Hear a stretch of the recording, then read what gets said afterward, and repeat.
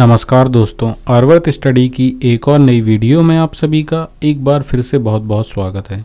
दोस्तों, इस वीडियो में हम आपको एक बहुत ही महत्वपूर्ण क्वेश्चन का आंसर देने वाले हैं।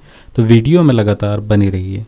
दोस्तों, हमारा क्वेश्चन यह है, संयुक्त राष्ट्र संघ में वर्तमान में कुल कितने सदस्य हैं?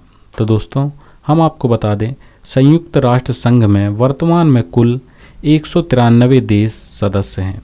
एक बार हम फिर से बता दें, संयुक्त राष्ट्र संघ में वर्तमान में कुल एक सौ तिरानवे देश सदस्य हैं। तो दोस्तों, अगर इस वीडियो के माध्यम से आपके क्वेश्चन का आंसर मिल गया हो तो हमारी इस वीडियो को लाइक करिएगा, चैनल को सब्सक्राइब करना मत भूलिएगा। धन्यवाद।